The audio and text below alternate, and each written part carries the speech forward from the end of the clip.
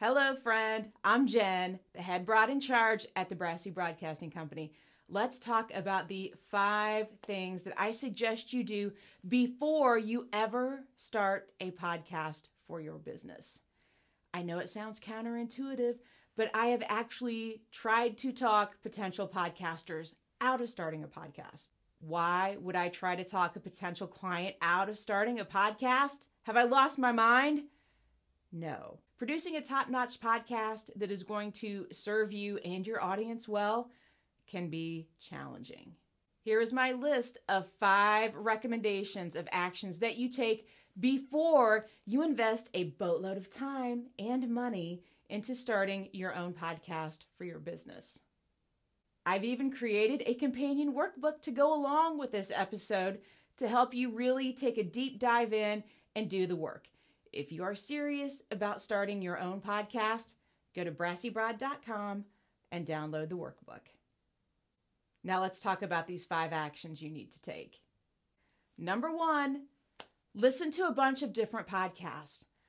I know it sounds like a total no brainer, but there are people that want to start podcast because they've heard it's a really good idea and it's something they should do for their business, but they have no concept of what a podcast actually is and how to listen to it.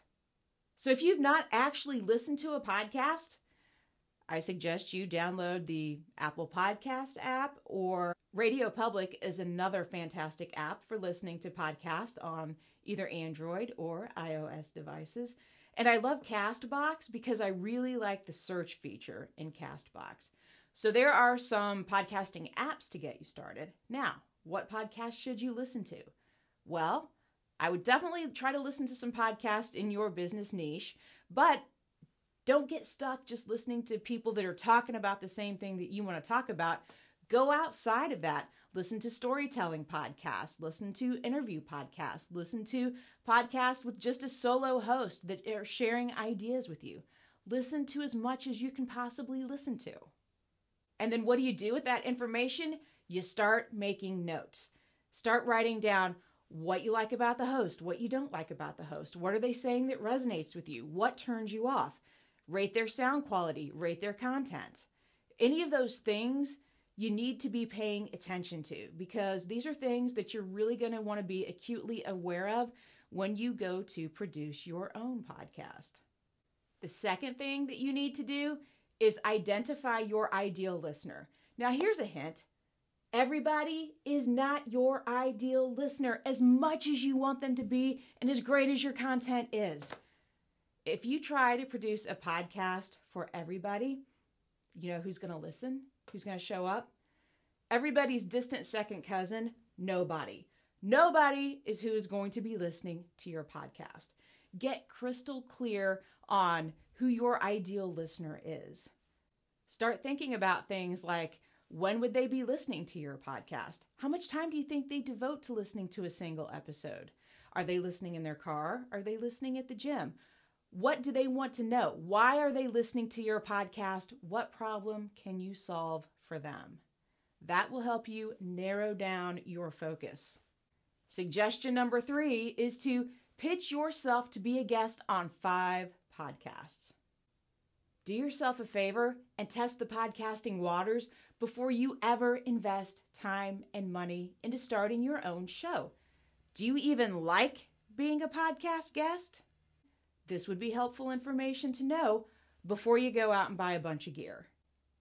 And if you've already been listening to all those podcasts, like I told you to do earlier, then you're going to have a really good idea of what shows you might be a great fit for as a potential guest because you're already familiar with the host and the content, and you can figure out where you might be able to fill in the gaps and really serve that host's audience.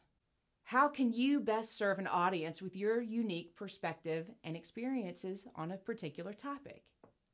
Writing multiple pitch letters is going to help you get crystal clear on your message and the value that you can bring to an audience. Here's suggestion number four. This is where the rubber really meets the road. And this part is actually easier than it sounds. Just don't overthink it. Make a list of 12 problems or challenges that you could help a listener overcome in about 10 minutes. Think about any blog post that you've written lately or any other content you have that could be turned into a podcast pretty quickly. All you'd have to do is read it. Or do an FAQ. What are the 12 most frequently asked questions that you get from clients or potential clients? Write down your 12 topics and then list three bullet points, main points that you want to make for each topic. It really is that simple. Just start with an outline and the words will come from there. Congratulations, friend. With that list of 12 topics, now you've already outlined a complete quarter's worth of weekly podcast. Or you've got a 12 episode series that you can release all at once, and your loyal listeners can binge till their little hearts are full and content. Step number five record a pilot episode. Now, this doesn't have to be super fancy. Just recording a pilot episode gives you something tangible that then you can go back and tweak and turn it into something fantastic. Here are three ways that you can easily record your pilot episode. Number one, use the voice memo on your phone. Number two, use QuickTime because you can record just audio on QuickTime. Or number three, use something like Zoom or GoToMeeting and record yourself. Nobody else even has to be there. The good news is that nobody else ever has to hear this recording that you've made. But if you find it tolerable, then share it with a few of your trusted advisors, get some feedback from them, and be open to any suggestions that they have on how you might improve it. Taking these five steps will get you well on your way to creating a podcast for your business that your audience will devour. I've created a companion workbook to go along with this episode to help remove any excuses you might have for not doing the work. So go to brassybroad.com, download the workbook, and get started working through these exercises. You're going to have 12 episode ideas in no time. Thanks for listening. Now get out in the world and do some good.